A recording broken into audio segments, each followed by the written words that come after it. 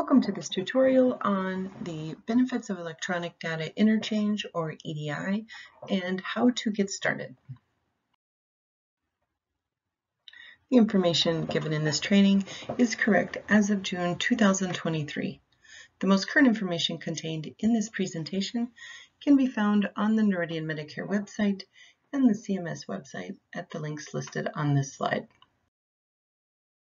EDI, or Electronic Data Interchange, is just a transfer of information electronically. Submitting your claims electronically not only saves you money, but it also saves you time. Electronic claims are processed in 14 days, whereas paper claims take 28 days to process. Medicare also provides free software to allow you to submit claims and review your remittance advices, or RAs, electronically. This slide provides you with the contact information as well as the hours that our EDI team is available. And this is for both jurisdiction E and jurisdiction F that you see on the slide. We also did provide you with EDI's email addresses where you can contact them for claim or report information. To verify yourself when calling EDI, you will need the information listed on the screen. You need your name and the NPI you're calling about, the business name and your phone number with your extension. You also need to provide a complete description of the issue that you're calling about.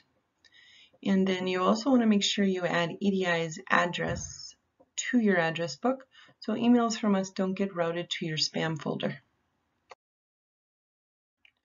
CMS does require that all claims are submitted electronically, except in a few limited circumstances which you will see listed on this slide.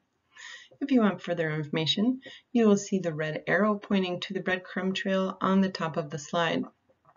If you do have any questions, you can either go to their website listed at the breadcrumb trail, or you can contact EDI with the contact information listed on slide 4. Some of the things that our EDI reps can help you with is getting set up with an EDISS Connect account. Now this is the first step you need to take to get registered to send your claims electronically. On the screen, you will see a web address to go to the EDI Connect webpage to register. The website offers user guides to set up and connect and the next steps to take to get approved for sending electronic claims. Some of the other things our EDI team can assist you with is understanding the reports you may receive for front-end rejections. Now, a front-end rejection is going to be an edit that stopped your claim from making it to the processing system.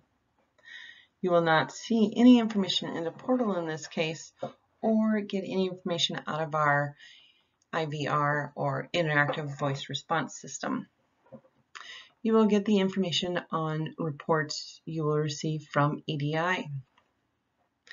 A backend denial will be seen in the portal and denial information will appear on your remittance advice. For these denials, you will contact the Customer Service Center for your jurisdiction. You will also want to use the EDISS distribution list for information about processing delays and other helpful information such as articles about common problems. EDI can also assist you with things such as system status updates. Uh, for instance, these will tell you if there are any issues with the gateway system. Our EDI team can also help you with understanding the free Medicare software if you choose to use that and assist with terminology such as the difference between a direct submitter versus a billing service. To submit claims electronically, whether it is direct or through a clearinghouse, you have to create a Connect account and submit test claims. On this slide, you can see there are two separate places to register for Connect. That is the big green button on the left or the blue link on the lower right corner. This screen here is an important one. It is the first screen in the registration process. Choosing the correct option will save you a lot of headaches in the long run. If you are a provider, you will click Provider. But if you are a billing service, clearinghouse, or software company, you will click the Vendors box. On our last screen here, you will see EDI links for resources for Connect. The top section, the provider or vendor user guide, will walk you through the directions of setting up your Connect account step by step. Thank you for taking the time to listen to our tutorial. Continue your learning experience by referring to additional recordings available on the Noridian website or YouTube channel.